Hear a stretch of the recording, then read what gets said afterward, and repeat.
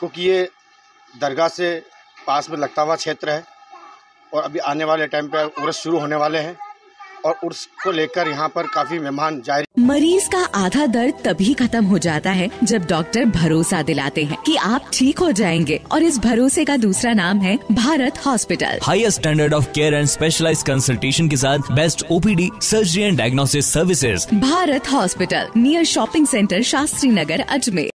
कौन सी रोड है और किस तरह की पाइपलाइन हुई? है ये रोड जो है, लौंगिया हॉस्पिटल रोड है और ये काफ़ी जो है यहाँ पे बड़ी जो पाइपलाइन यहाँ डली हुई है सरकार की तरफ़ से।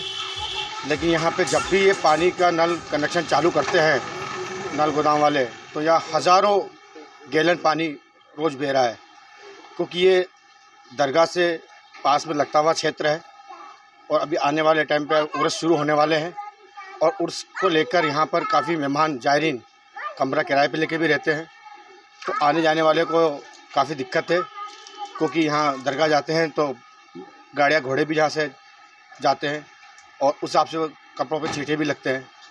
तो मैं यही कहना चाहूँगा कि इसको जल्द से जल्द वाटर बॉक्स वाले जो है इसको रिपेयर करें और हमारे को इसकी सुविधा मिले। ये कितने साल से फूटी हुई है? ये कम से कम दो साल करीबन हो चुके हैं। रोज़ दल आता है रोज़ हज़ारों गैलन पानी बह रहा है। इसकी शिकायत हमने वहाँ पर रजिस्टर में भी करके आए हैं मगर वहाँ रजिस्टर में भी शिकायत करने के बावजूद भी कोई अधिकारी यहाँ पर आके ध्यान नहीं दे रहा और नहीं आके यहाँ पर इसकी सुन दे रहा है। आपका नाम? मेरा नाम रुस्तम अली समाज सेवी अजमेर।